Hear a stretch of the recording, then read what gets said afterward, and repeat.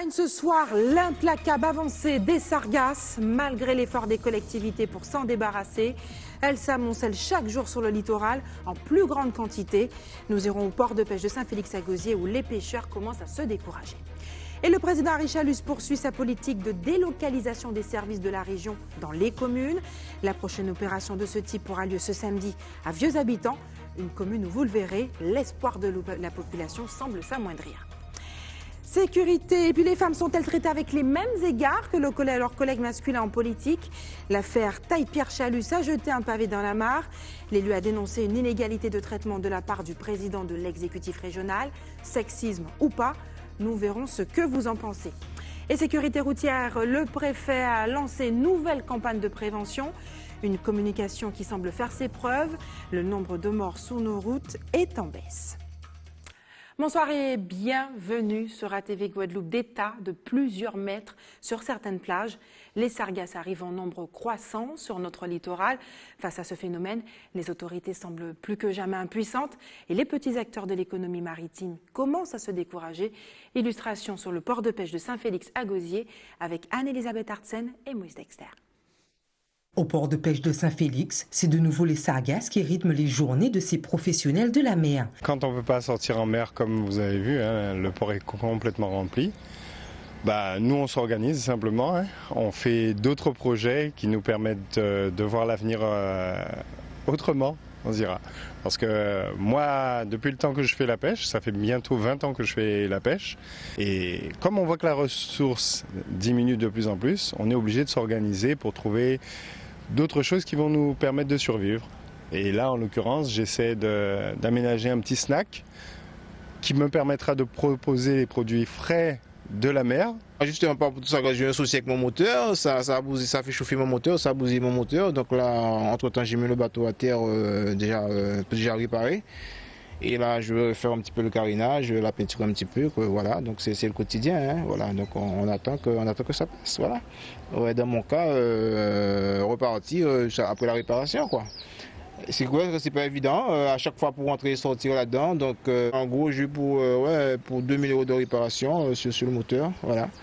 Donc euh, j'y vais compter, après il faut acheter la peinture pour faire le bateau et tout ça, mais en gros c'est ça. Hein. parce que quand, le moteur chauffe comme ça, moi j'ai eu la chance que j'ai pu la, réparer, mais des fois après sinon le moteur il est foutu. Hein. Alex découvre cette année l'ampleur du phénomène et même pour ce plongeur aguerri, ces invasions sont problématiques. Les allées et venues sont un petit peu limitées quoi. Donc on, on essaie de s'occuper sur le terrain, sur terre. Donc on est, euh, on est marin sur terre. c'est un peu paradoxal, hein. mais c'est vrai que c'est un peu critique quand c'est les périodes de sargasses comme ça pour la pêche. On fait attention à ne pas euh, encrasser ses moteurs surtout, c'est surtout ça parce que quand on est plongeur, on plonge mais on aimerait que le bateau vienne nous récupérer après. Donc c'est juste ça, donc ça met un peu plus de temps, on négocie un petit peu les, radeaux, les abords et nous on essaye de s'éloigner justement des, radeaux. Mais c'est pas toujours évident. Un brin fataliste, mais particulièrement réaliste. Ces pêcheurs ont appris à vivre avec le temps, avec ces arrivages d'algues dans leur port, mais surtout à s'adapter à chaque invasion massive de sargasses. Et pour rendre accessibles les services de la région qui sont localisés à Basse-Terre au plus grand nombre, hein, le président de région a entrepris depuis quelques mois l'opération La région Guadeloupe à domicile dans les communes. Le prochain rendez-vous aura lieu ce samedi à Vieux Habitants une commune où la politique ne rime pas toujours avec espoir. Reportage Linda Kayarsi, Patrick Curie. Ce matin, sur la place Tédirinaire, on s'active, car dans deux jours, les services de la région seront décentralisés à vieux habitants. Un village nomade, des services régionaux pour répondre à toutes les questions, notamment sur les aides aux entreprises, les fonds européens, la rénovation de l'habitat ou encore la formation.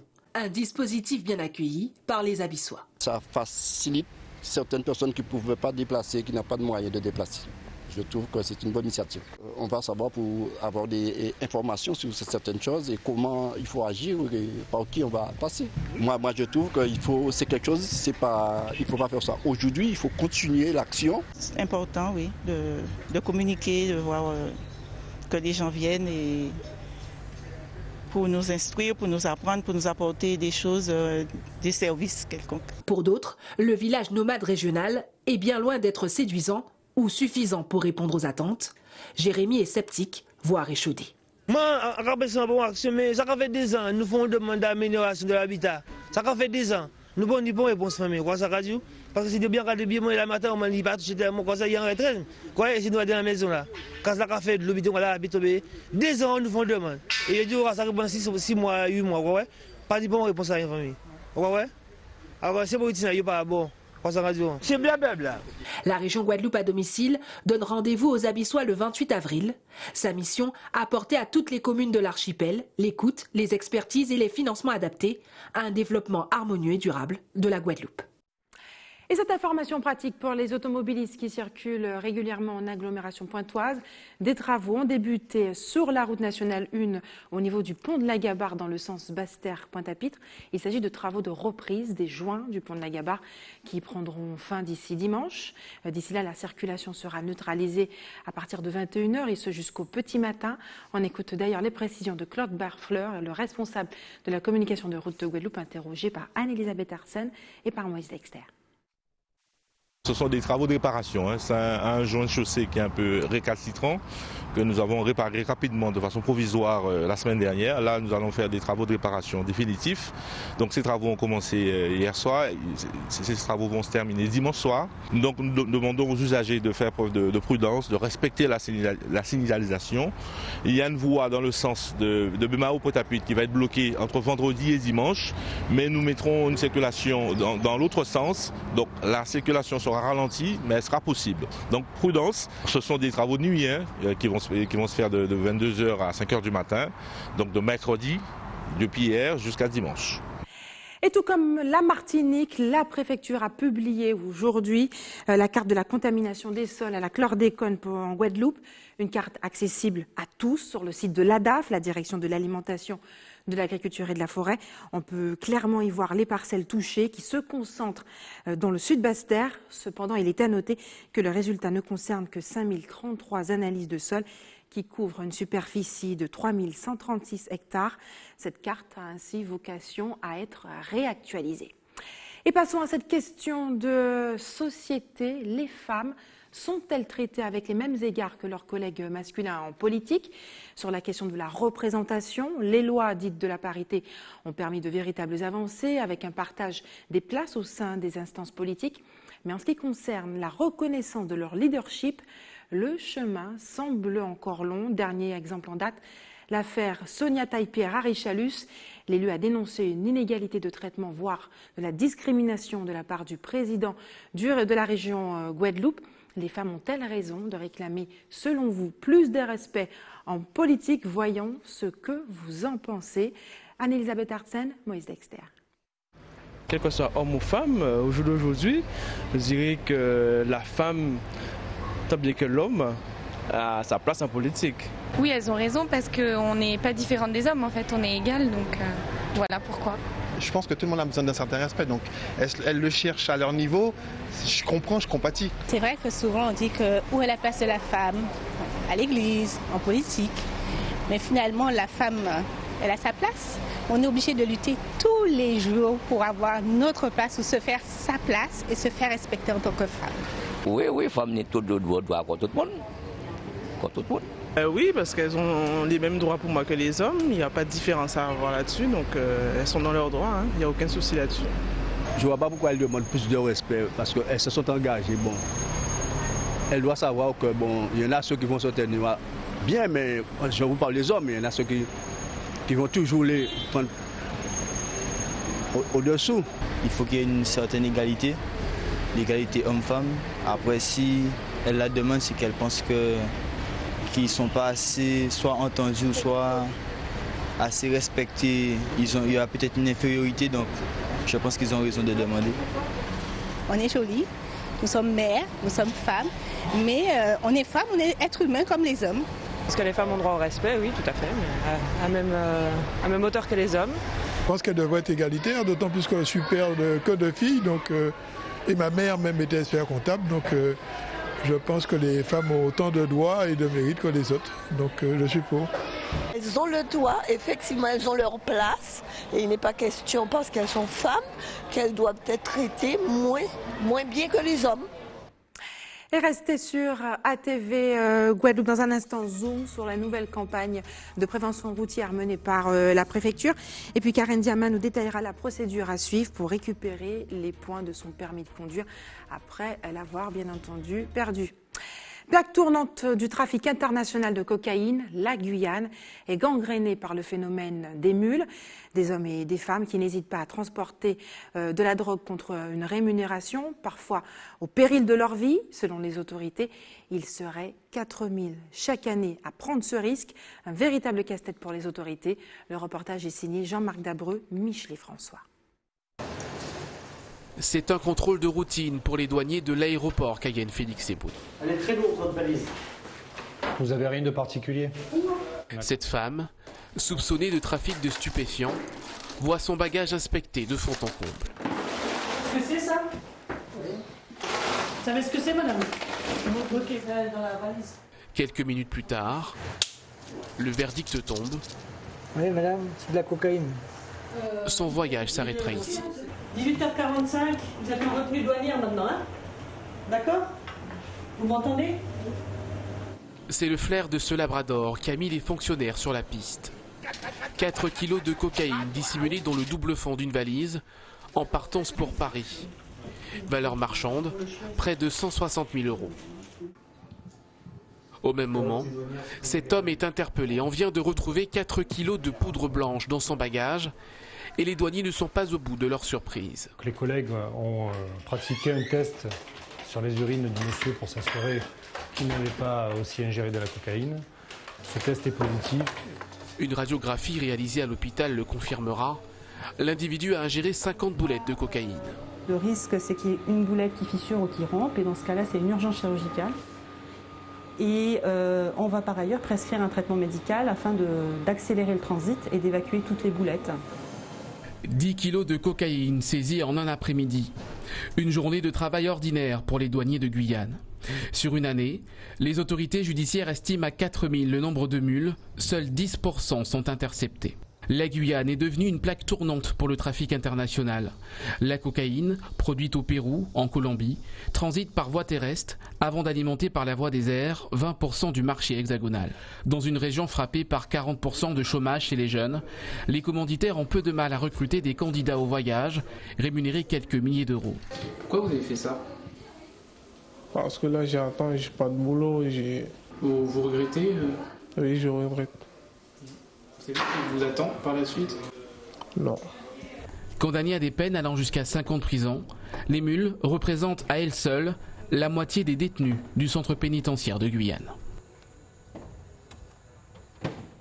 Et puis quels sont les derniers chiffres de la sécurité routière en Guadeloupe Au dernier bilan publié par les services de la préfecture, le nombre de personnes mortes sur les routes en Guadeloupe est en baisse par rapport aux chiffres de l'an passé à la même période. Néanmoins, 12 personnes ont déjà été tuées depuis le début de l'année. Voilà pourquoi la préfecture a lancé une nouvelle campagne de prévention. Reportage Linda Kayarsi, Patrick Curie. Un triangle endeuillé sur fond noir, un compteur et un slogan. La nouvelle campagne de communication de sécurité routière, lancée par la préfecture de la Guadeloupe, se veut sobre. Deux semaines d'affichage sur une centaine de panneaux répartis sur tout le territoire. Objectif, inciter chaque usager de la route à faire preuve de prudence et de civisme. Car depuis le début de l'année, on dénombre 12 morts, trois automobilistes, quatre motards, deux cyclomotoristes, un cycliste et deux piétons. Respect des limitations de vitesse, des distances de sécurité, port de la ceinture de sécurité, de vêtements clairs et rétro-réfléchissants pour être vus la nuit, autant de réflexes simples pour arrêter de compter les victimes de la route. La nouvelle campagne de communication de sécurité routière, c'est aussi la multiplication de messages, des actions de prévention, ainsi que le renforcement des contrôles routiers, avec le déploiement de nouveaux dispositifs comme les radars tourelles, dont les premiers seront opérationnels à la fin de l'année. Et en raison de la multiplication d'infractions au code de la route, certains d'entre vous n'ont plus leur permis de conduire. Pour le récupérer, la procédure a été entièrement numérisée. Les explications avec Karen Diamin. Depuis le 6 novembre 2017, les démarches concernant la délivrance du permis de conduire se font uniquement en ligne. Désormais, il en sera de même pour la prise de rendez-vous à la commission médicale d'aptitude à la conduite. Première étape, l'usager devra se connecter sur le site internet de la préfecture www.guadeloupe.pref.gouv.fr. Sur la droite de la page d'accueil, dans le pavé bleu des marches administratives, il devra cliquer sur Prendre un rendez-vous, puis sur Préfecture de Guadeloupe, Basse-Terre. Ensuite, il suffira de se laisser guider, étape par étape, jusqu'à la validation finale du dossier. Dès confirmation du rendez-vous en ligne, l'usager recevra alors une convocation à remettre le jour du rendez-vous. Deuxième étape, l'usager devra vérifier que son dossier est bien complet avant son passage devant les médecins. Troisième étape, une fois la visite médicale effectuée, l'usager recevra par courrier à son domicile une notification écrite de la décision de la commission médicale et du préfet.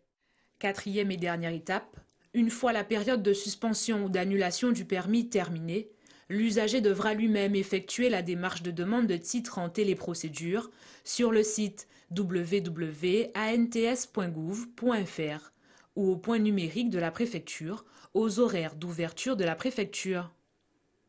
La commission médicale se déroule uniquement à la préfecture de Basse-Terre. Et que diriez-vous de faire du sport tout en améliorant votre anglais? L'association Meet English s'est associée à l'Académie Bootcamp de Guadeloupe pour organiser une grande manifestation sportive ce vendredi, ce dimanche 29 avril au Club Med de la, de la, Caravelle à Sainte-Anne. Pour nous en parler ce soir, Aurélie Lalande, vous êtes avec nous. Bonsoir. Bonsoir. Merci d'avoir accepté euh, notre invitation euh, ce soir. Vous êtes la fondatrice de l'association euh, du, Club Meet English, il faut plutôt le préciser, oui. Euh, ce n'est pas la première fois, euh, Aurélie, que Meet English permet de pratiquer l'anglais autrement à travers des activités. C'est d'ailleurs l'essence même et la vocation de ce club mais c'est la première fois que vous associez un événement, euh, un événement sportif d'envergure, bootcamp. Expliquez-nous un petit peu comment ça va se passer. Ah ben, Déjà, dans un premier temps, je vais expliquer comment on en est arrivé là, puisque le club évolue euh, ben, au fil des, besoins des participants, de, des adhérents et non adhérents, et tout simplement un besoin émergé de pouvoir avoir une activité sportive. Donc on s'est dit, ben, pourquoi pas? Donc on a contacté euh, le Bootcamp Academy, ils ont accueilli la nouvelle euh, ben, avec plaisir, et voilà, aujourd'hui nous sommes là. Donc comment ça va se passer Tout simplement, une journée entière dédiée à la pratique du sport, euh, le matin de façon intensive, l'après-midi de façon un petit peu plus euh, détendue. Donc nous aurons les activités sportives en matinée à partir de 8 heures et ce jusqu'à 11 heures à peu près, 11 heures midi. Et dans l'après-midi, nous aurons quelques activités un peu plus light avec des discussions en anglais sur euh, euh, la nécessité de pratiquer une activité sportive au quotidien, euh, régulièrement en tout cas, quelques activités de massage, quelques activités de yoga, de la découverte. Quel est l'objectif de cette mobilisation, autant pour vous que pour mhm. l'Académie Bootcamp? Alors l'objectif tout simplement, ben, c'est de pousser les participants à se dépasser. Le bootcamp en lui-même, c'est ben, une activité sportive euh, non conventionnelle qui pousse au dépassement de soi, qui se réalise en plein air en général, donc à la plage ou en rivière. Et euh, ça correspond tout simplement aux objectifs de Meet English, puisque nous, on souhaite pousser nos membres justement à se dépasser régulièrement. Donc l'association était, euh, était tout à fait appropriée et c'est exactement ce qui va se passer. Donc le sport, c'est déjà un peu plus facile, même si on n'est pas sportif, mais se dire, bon, on va le faire en anglais, là, c'est autre chose. Faire du sport, c'est déjà une chose, et puis le faire en anglais, est-ce que c'est accessible à tous? Est-ce qu'il faut avoir un certain niveau? Alors j'ai envie de dire c'est accessible à tous. Tout simplement pourquoi? Vous avez des instructeurs en face de vous. Tous les instructeurs, je tiens à le préciser, sont diplômés. Et ces instructeurs, en plus de parler, ils vont faire les gestes. Donc vous verrez tout simplement, même si vous ne savez pas euh, comment se dit, je ne sais pas, faire des pompes par exemple, mais vous verrez l'instructeur faire euh, l'exercice et là vous vous direz, ah bon, ben, c'est comme ça que ça se dit, bon, ben, je vais, j'y fais, j'y vais, je fais. voilà. Pour y participer, ce n'est pas mhm. gratuit, Aurélie Lalande, il faudra néanmoins débourser la somme de 10 euros et un pack à 69 euros. Qu'y a-t-il dedans? Il y a, il y a le coach de Beyoncé. non, alors, la formule à 10 euros, c'est uniquement pour participer au bootcamp le matin. La formule totale à 69 euros, c'est pour participer au bootcamp, avoir accès au déjeuner, avoir accès aux activités de meeting English l'après-midi et profiter de tous les aménagements disponibles, en fait, toutes les activités disponibles au sein du Club Med, puisque le Club Med est partenaire de l'événement. Donc, euh, quand je dis toutes les activités, il y aura euh, du jet ski, il y aura ben, voilà, tout ce qu'on trouve. Euh, ah oui, quand même, d'accord. Reste-t-il des places pour s'inscrire? Il reste encore des places pour s'inscrire. Et j'ai envie de dire, ben euh, voilà, il reste quelques jours. Euh, dépêchez-vous, entre guillemets. D'accord, merci Aurélie Lalande. Ce sera en tout cas, je le, le rappelle, ce dimanche 29 ça, avril. ce dimanche 29 avril. À la Caravelle. À partir de 8 heures, en journée complète pour ceux qui le souhaitent, en demi-journée. Ce sera aussi la première fois pour le bootcamp d'avoir une journée euh, entière et complète. Merci d'avoir accepté notre invitation. Je Le gouvernement a décidé, euh, Aurélie Lalande, de Mhm. consigner les canettes et les bouteilles en plastique dans les Outre-mer afin de réduire le nombre euh, de Mhm. déchets. C'est une mesure qui s'inscrit dans le cadre du projet de loi sur l'économie circulaire. Mhm. Les précisions sont signées Gaël Ouassim. Vous ne verrez plus vos déchets de la même manière. Annoncé lundi dans sa feuille de route sur l'économie circulaire, le gouvernement prévoit une consignation des déchets plastiques proposée à l'ensemble des territoires d'outre-mer. Une façon d'améliorer le flux de déchets sur nos territoires. Euh, il faut que chacun, à son, à son niveau, euh, fournisse, fasse les bons gestes. Le tri euh, en Guyane, effectivement, est mis en place depuis quelques années. Il est encore, euh, on va dire, en phase de démarrage. Augmenter la, performance du tri permet euh, une meilleure valorisation et un meilleur recyclage des, des produits, euh, des produits triés. Sous forme d'expérimentation dans les Outre-mer et matérialisée par une légère hausse des prix à l'achat des bouteilles d'eau et de canettes, cette décision restera à l'initiative des collectivités locales. La collectivité territoriale de Guyane euh, sera l'entité, l'institution qui euh, choisira ou non de passer à la consigne. La feuille de route euh, sur l'économie circulaire prévoit que le financement de cette mesure ne soit pas assuré au travers d'une hausse des prix, mais au travers d'une contribution, une contribution augmentée des éco-organismes dans, dans les filières considérées. Certains pourraient sourire de cette opération car la Guyane se met à au tri sélectif, bien après la France hexagonale et d'autres territoires ultramarins. On n'est pas des mauvais élèves, on est juste, euh, euh, je dirais, submergés par le quotidien, par des choses qui sont encore plus importantes et encore plus prégnantes pour la population. Euh, les déchets, c'était quelque chose d'important pour le développement durable, mais c'était peut-être pas la priorité jusqu'à présent des institutions. Et là, c'est peut-être l'occasion, justement, encore une fois, cette feuille de route, elle est valable pour l'ensemble de- des départements français. La France n'est pas non plus un excellent élève euh, en matière de, de tri. On n'est pas mauvais par rapport aux pays européens, mais on peut encore faire mieux. L'idée de cette feuille de route, c'est de faire beaucoup mieux, euh, avec encore une fois des objectifs assez ambitieux. Faire mieux, faire mieux partout, y compris en Outre-mer. Si la date d'application de cette nouvelle consigne n'est pas encore arrêtée, elle devrait s'appliquer dans nos territoires dans les mois à venir. Et c'est l'heure des informations pratiques. Maintenant, faites des réserves d'eau si vous habitez à Goyave, Le Gosier et la section de Duto aux Abîmes. Les coupures sont prévues chez vous demain soir à compter de 18h avec un retour euh, à la normale à l'aube. Et puis demain, l'équipe d'établissement français du sang vous donnera rendez-vous à Petit Pérou aux Abîmes à partir de 8h30. Et enfin, si vous avez des informations à nous communiquer, n'hésitez pas à nous appeler au 60 11 deux fois à la rédaction d'ATV Guadeloupe. Merci d'avoir choisi ATV Guadeloupe. Je vous souhaite euh, une excellente soirée. Mais avant de se quitter, je vous rappelle les principaux titres de ce jeudi 26 avril. Nous l'avons vu, l'implacable avancée des sargasses malgré l'effort des collectivités pour s'en débarrasser. Elle s'amoncelle chaque jour sur le littoral en plus grande quantité. Nous sommes allés au port de pêche de Saint-Félix à où les pêcheurs sont, obligés de, euh, de s'adapter. Et puis le président Richalus poursuit sa politique de délocalisation des services de la région euh, dans les communes. La prochaine opération de ce type aura lieu ce samedi à Vieux Habitants. Et puis les femmes sont-elles traitées avec les mêmes égards que leurs collègues masculins en politique? L'affaire Taille-Pierre Chalus a jeté un pavé dans la mare. L'élu a dénoncé une inégalité de traitement, voire de discrimination de la part du président de l'exécutif régional. Sexisme ou pas, nous vous avons posé ce soir la question.